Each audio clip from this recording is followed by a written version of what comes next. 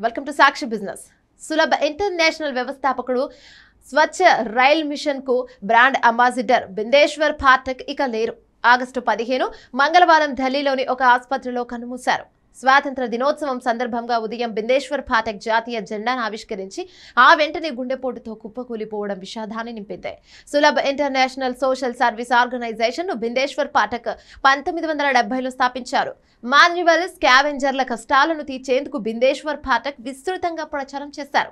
మూడు దశాబ్దాల క్రితం తాను రూపొందించిన సులభ్ టాయిలెట్లను ఫెర్మెంటేషన్ ప్లాంట్లకు అనుసంధానం చేయడం ద్వారా బయోగ్యాస్ ఉత్పత్తిని వినూత్నంగా వినియోగించేందుకు నిర్ణయించారు. అలాగే అప్పటి కేంద్ర రైల్వే మంత్రి సురేష్ ఆధ్వర్యంలో రైలు ప్రాంగణంలో పరిశుభ్రతను పెంపొందించే లక్ష్యంతో సులభ ఇంటర్నేషనల్ వ్యవస్థాపకుడు బిందేశ్వర్ పాట్నకు స్వచ్ఛ రైలు మిషన్కు బ్రాండ్ అంబాసిడర్గా నియమించింది.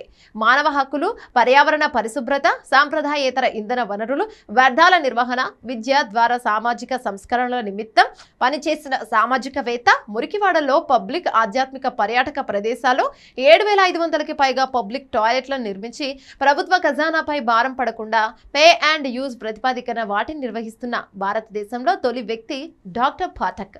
ప్రతిరోజు పది మిలియన్లకు పైగా ప్రజలు ఈ సౌకర్యాలను ఉపయోగిస్తున్నారు.